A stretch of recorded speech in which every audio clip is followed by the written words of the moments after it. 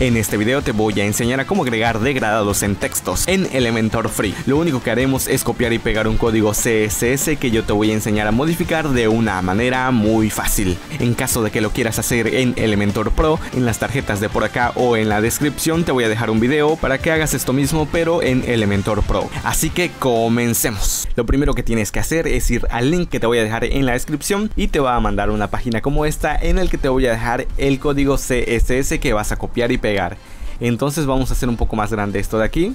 Lo jalamos un poco para este lado para tener una mejor visión. Vas a copiar desde donde dice Style hasta este último que también dice Style. Clic derecho y haces clic en Copy para copiar. Volvemos a nuestra página web hecha con Elementor Free. Entonces, para comenzar a agregar degradados en textos con Elementor Free, lo que vamos a hacer es buscar el widget HTML en esta parte de aquí lo ponemos por acá y vas a pegar lo que habíamos copiado.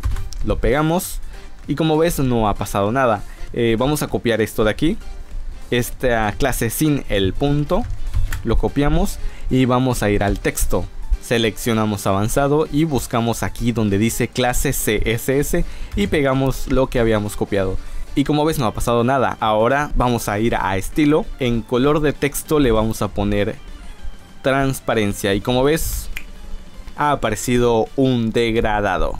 Si quieres me puedes seguir en Instagram y por ahí me vas a encontrar como Bert Ortiz. Sígueme. Vamos a tipografía. Vamos a hacer un poco más grande estas letras, pero como ves, si las haces demasiado grandes, las letras como que se cortan en esta parte de aquí. Para solucionar ese problema, lo que tenemos que hacer es ir a avanzado y agregarle un padding en la parte superior y en la parte inferior.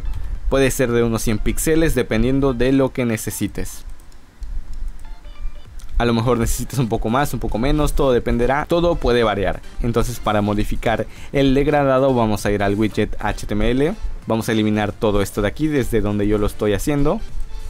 Y lo único que tiene que quedar son estos dos puntos y el punto y coma vas a ir a la página que te voy a dejar en la descripción. Esta página web sirve para crear degradados. Lo único que tienes que hacer es seleccionar esto de aquí. En caso de que tengas otro por acá, lo eliminas, lo seleccionas y lo eliminas con suprimir. Entonces aquí vas a elegir un color, seleccionamos este, eliges un color el que tú quieras, seleccionas este otro de aquí y eliges otro color. En esta parte de aquí puedes elegir lo que es el ángulo en el que quieres que aparezca el degradado. Si lo movemos mira como aquí empieza a cambiar. En este caso yo quiero que el degradado empiece de izquierda a derecha. Lo voy a dejar en 90 grados. Una vez que tengas los valores que tú necesitas vas a copiar esto de aquí donde dice linear. Vas a copiar esto de aquí hasta acá sin el punto y coma. Clic derecho y copias vuelves a tu página web hecha con Elementor Free y lo vas a pegar en medio de estos puntos. Lo pegamos y como ves ya se ha agregado un degradado. Si tú quieres poner dos títulos y que cada uno tenga un degradado diferente, lo harías de la siguiente forma. Eh, vamos aquí al widget HTML, vamos a contenido, vas a copiar y pegar esto de aquí, todo esto de aquí, y lo vas a pegar aquí entre esta etiqueta de acá y esta de acá. Lo pegamos cambias el degradado eliminas el degradado dejando este punto y punto y coma. Lo pegamos aquí entre los puntos.